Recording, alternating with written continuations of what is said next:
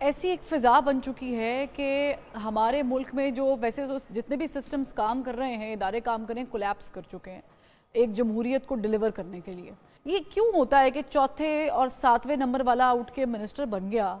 और बायदा वे हमारे एक साथी बड़ा अच्छा जुमला नाम नहीं लूँगी, उनका कोट कर रहे थे, वो कह रहे थे कि वो सीट्स नून लीग ने छोड़ी हैं और जिस बाई इलेक्शन हो रहे हैं, जो एक्चुअली पहले तो शको शुबात जो थे कि पहले ये जीती भी हैं कि नहीं जीती हैं?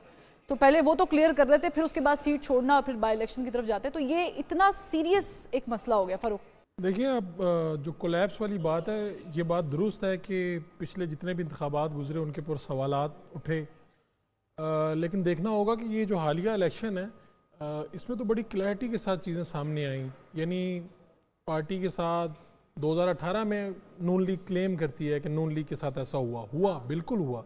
बंदे उठाए गए बंदे उठाए गए सब कुछ महकमा ज़रात बड़ी 2024 में भी हुआ महकमा ज़रात के नाम बदले होंगे चीज़ें हालात बदले होंगे। आ, हम्म। लेकिन इस इन इलेक्शन पर डाउट्स जो हैं वो इतने ज़्यादा हैं कि शायद मेरा ये ख्याल है कि हुकूमत के पाँच साल हुकूमत का पीछा करेंगे।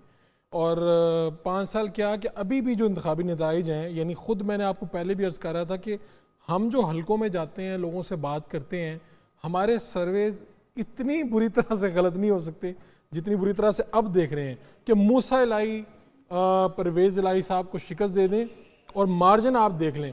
मैं मूसा लाई साहब के कौमी असम्बली के हल्के की बात कर रहा हूँ जहाँ पे उन्होंने तेईस या पच्चीस हज़ार वोट लिए हैं। हम्म। वो हल्का जहाँ पे उन्होंने पाँच साल मेहनत की पाँच साल उनको प्रॉपर काम करने का मौका मिला।